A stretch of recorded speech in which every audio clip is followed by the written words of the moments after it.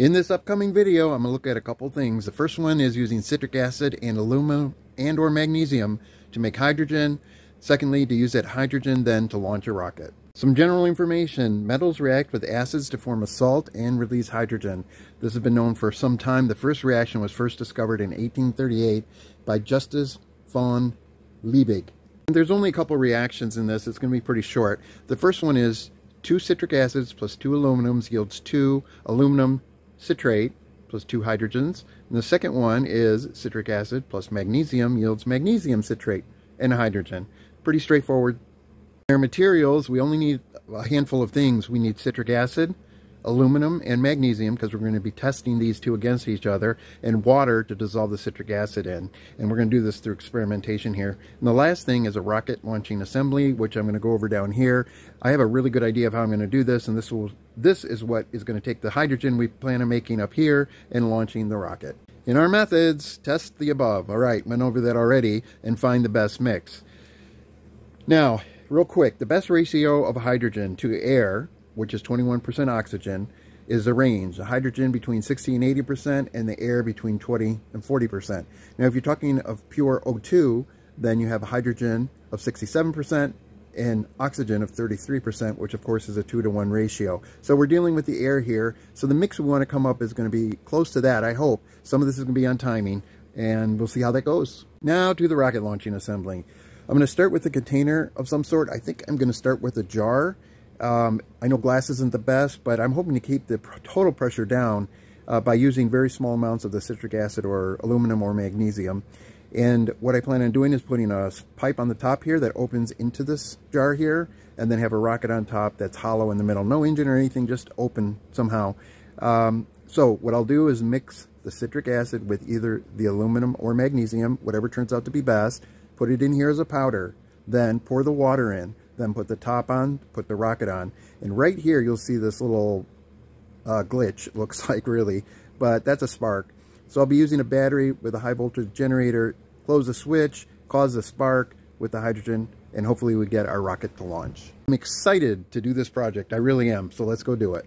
To make our citric acid rocket, uh, citric acid and hydrogen, I'm going to use this glass jar, which typically you wouldn't want to use uh, glass with hydrogen, especially when it's going to pop off. But since the hydrogen mix, when it lights, the pressure is going to go through this tube, which will be a, through the top here, and launch this rocket right off the top there. So that's what I'm going to try and do. I need to put a spark generator, come back here, somewhere in here. So it's coming along. It turned out it was 11 16ths uh, bit I needed to drill a hole, and that fits so snug.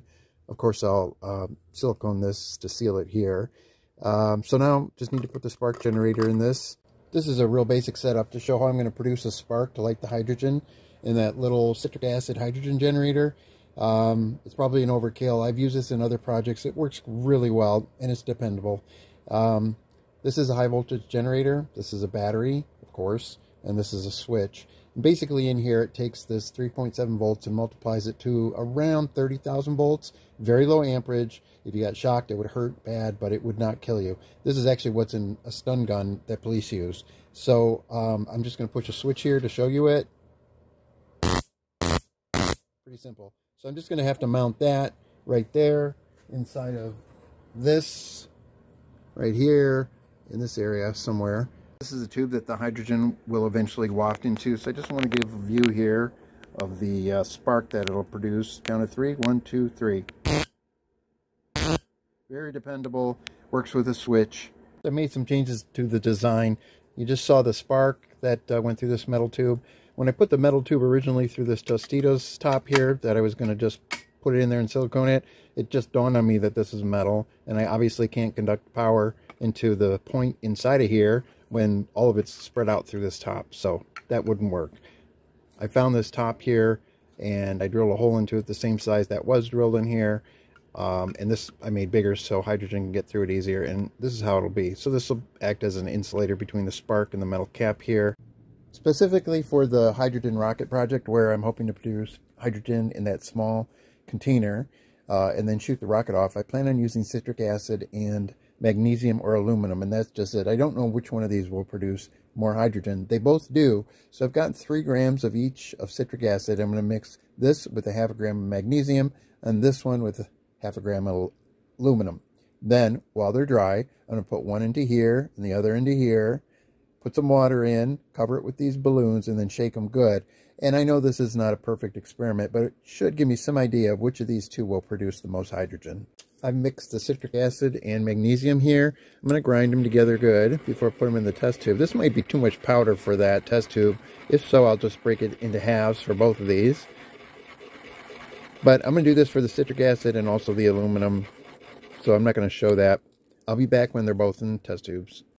Obviously the magnesium's on the left and the aluminum on the right and both have citric acid. So what I'm going to do is add 2 cc's, 2 milliliters of water to each. Okay, so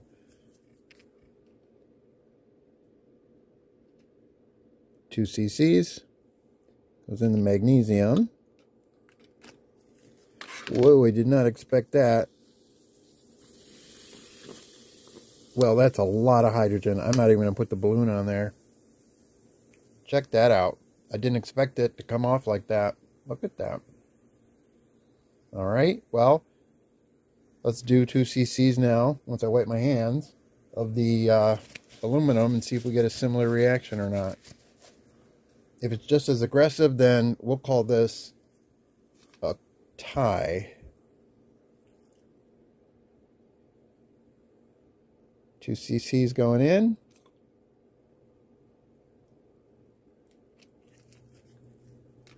Definitely slower acting.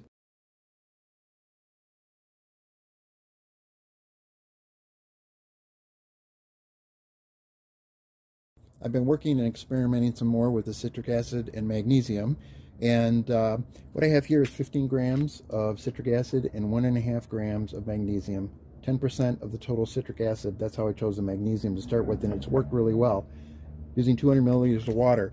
I chose that because that fills this up halfway and this will be the bottom of the hydrogen generator rocket engine. So this and this are about the same size, it turns out. So I've been using this and pouring 200 milliliters, milliliters of water in here. And I want to show you that. And I'm going to grab my long stick of, uh, of a lighter. So I'm going to go ahead and pour that in there in this colder air out here, it takes a longer time, but not too long. But I like that because that'll give me time to pour it into this and then put the cap on it and then step back to light it.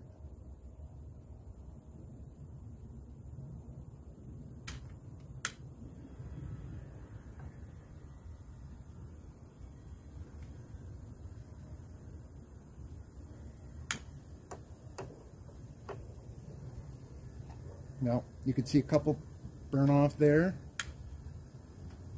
It's not being contained in anything, so unfortunately, let's try that one more time. There, happened again. It's a small flame, but of course that'll be contained inside of that jar on the left there. This piece is complete. The only thing I added was a screen just in case when I add the citric acid and magnesium to this, if it bubbles up too high, it'll hit the screen, hopefully preventing those bubbles from getting up here to the electrical part. Once that's done, I'm going to put the citric acid magnesium in here, pour water in it, put the cap on, and then put the rocket on top, like so. And then go back and push the button that will connect the battery. This is the battery and the switch hookup right here, so when I press this button, you can already hear it, but down there is the rocket the water, which needs to be mixed with citric acid and magnesium. But again, I'll push this button, and you can clearly hear the spark works down there. All right, we're ready to go. I'm going to pour the water. I'm going to start right away. I don't know how long it'll take to get enough in there, but count of three. One, two, three. I would say that's a plus. Here's the rocket and unfortunately it split right open down the side which is why it popped like it did so yeah better rocket uh, probably and less reactants. The best parts about the system is that once it cools down I can empty it fill it and try it again. It's been about five minutes since this went off and I took the top off. No harm done. Found what I'm gonna do here next and this should work. Uh, this is some tubing random tubing I have that uh, fits nicely over that. And then all I have to do is block the top of that and then use this yellow Estes rocket, which was never finished, and put some fins on the bottom. So I think that's going to hold up a lot better. I put an old cork in there and then JB welded the top, so this will hold really well. And I'm going to use the same type of glue to do this. And then I just need to attach the fins. The fins are on. I repainted it and it's ready to go.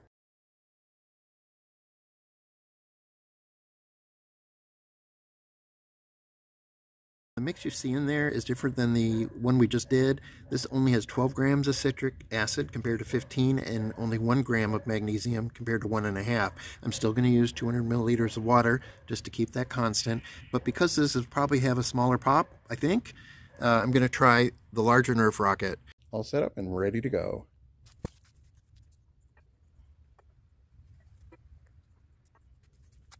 Okay, here we go. Three, two, one. Oh, darn. I suspect that the glass was probably slightly cracked with the first attempt and the second one just popped it apart. So no big deal. The glass didn't go far at all. It's all around here. But, you know, the other thing I'm not uh, really, I hadn't considered till just now is that when I first started this project, it was in the 40s outside Fahrenheit. And now it's 60. So the increase in temperature could very well be changing how fast that hydrogen is being produced. Here's my solution to the breaking glass problem with this hydrogen rocket. This is plaster of Paris and sand mixed together. It needs to be wetted, of course. That's um, steel wool in there with some sand on the bottom to give it some stiffness so that when I put this jar in here, it will sit exactly where I need it to. So the jar will be completely covered with uh, something solid like this. Plaster of Paris cures within about 20 minutes, so it's only been a half hour since I did it. And um, yeah, this is heavy duty. I think even if the glass cracks down here, it's not going to matter. There's just so much here that's holding it together. Thankfully, this survived. Okay, so that's good. And uh, the reason I'm sticking with this still, even though the glass broke, is it's hard to find something, a container, where you can pour water in and close it quickly. I mean, this closes within a quarter turn. So I looked around, couldn't find anything. The other thing I'm doing is cutting back down on what I'm putting in there. So this is only seven and a half grams of citric acid and a half a gram of magnesium. Until I have this figured out, I'm just repairing these foam rockets here. I glued that and then taped it up good um, because I think it might pop open again, even though we're using half of what we did before. And speaking of that, I'm also going to use half the water. So I'm only using 100 milliliters instead of the 200.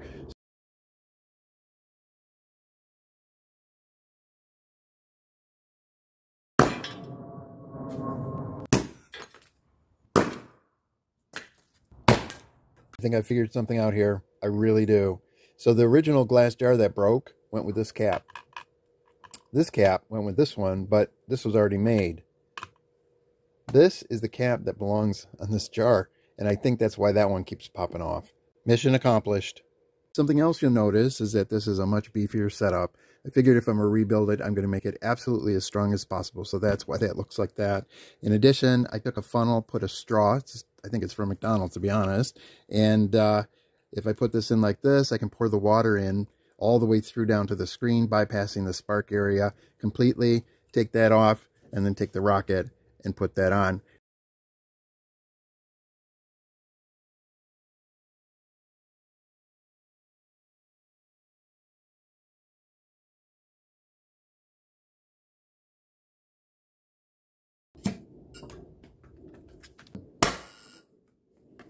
Repaired these rockets, thought I made them strong enough, but it tore right through there again. This is the heavy-duty rocket I built earlier.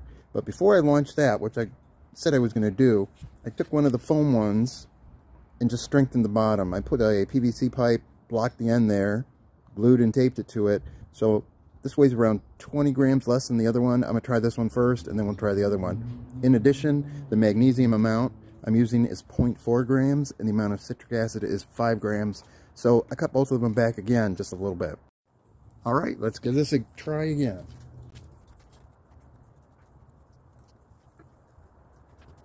Three, two, one. Hey! Well, look at this rocket. Nothing broke on it. I'm not surprised. This PVC and the block in the back there is all pretty strong stuff. It seems like I should have tried this honestly in the beginning. But hey, you live and learn. Just to show you, the glass has been undamaged throughout all of these uh, explosions here. Okay, I had that larger, uh, slightly heavier yellow rocket there that I built, like I said earlier.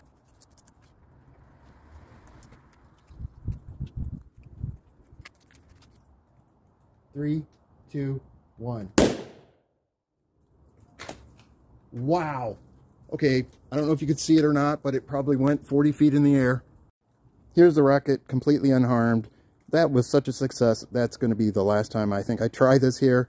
I really hope you enjoyed watching this uh, little project progress.